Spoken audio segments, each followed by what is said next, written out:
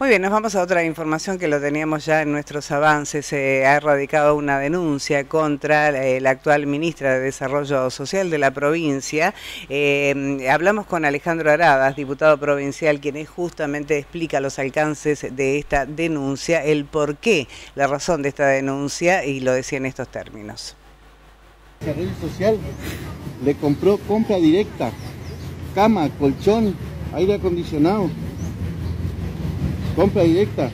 Primeramente nos acercamos en su momento a la Fiscalía de Investigación Administrativa para ver si había actuado de oficio porque eh, como se hizo público, de, se hizo de público conocimiento, tanto un dirigente social eh, que se viralizó un video donde mostraba las facturas, seguramente eran copias, pero mostraban las facturas de compras que excedían eh, lo que tiene permitido el, el Ministerio de Desarrollo Social como compra directa, lo que entendemos como compra directa.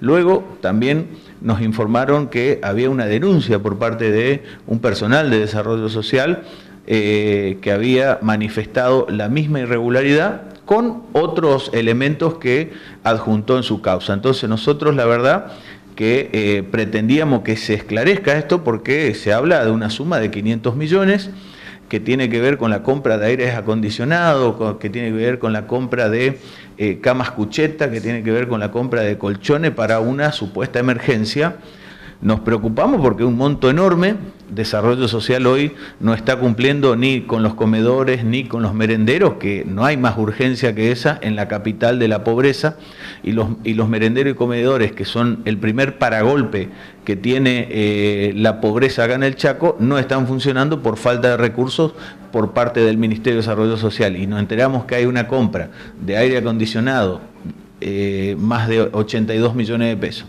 de ventiladores, más de 80 millones de pesos, de camas chucuchetas, más de 50 millones. Yo lo que creo es que lo que amerita esta situación, más allá de lo que ha salido a explicar eh, la ministra, eh, el ciudadano chaqueño que está cansado de tanta corrupción y de tantas denuncias, lo que necesitamos saber es, bueno, mira, las camas cuchetas están en tal lugar, los aire acondicionados son para tal centro de atención al mayor, para eh, dotar a algún centro de salud de aire acondicionado, dónde están los colchones, los colchones están destinados para tal hospital o para tal centro de atención al mayor o la niñez, que son los que atiende social, pero nosotros necesitamos esa claridad, sobre todo cuando dicen eh, la cifra que es realmente eh, preocupante, porque se está hablando de 500 millones. Bueno, entonces me parece que hoy el Chaco no está para eh, despilfarrar 500 millones. Recurrimos a los organismos que nosotros tenemos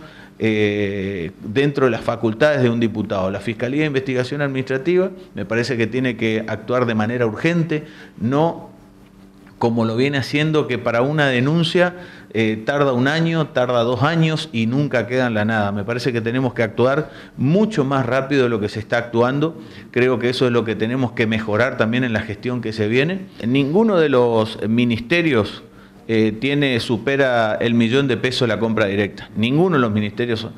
Cuando vos eh, necesitas comprar una cifra superior a lo que te impone la compra, eh, la compra directa, necesitas hacer una licitación, necesitas cumplir con algunos requisitos, que es lo que te da la legalidad y la transparencia de esa compra. Esto es en colchón y cama cucheta, hermano. A una empresa, digamos, a una empresa que en el 2021 se fundó. Esto, para que no digan después que yo hablo para acá están los papeles. También otra cosa que nos llamó la atención es que eh, este dirigente social decía que la empresa que vendió eh, eh, o que ganó esta, esta compra tenía el inicio justamente a la, a la, vida comercial el 2021. O sea, en el 2021 se, se crea esta empresa y gana semejante compra. Entonces me parece más preocupante todavía porque el dirigente social que todos conocen porque se hizo viral, eh, ponía cierta sospecha en que esta empresa no esté vinculada a desarrollo social con algunas cuestiones irregulares. Entonces, más grave todavía, porque aparte lo denunciaba un dirigente que ha compartido políticamente con este gobierno durante mucho tiempo.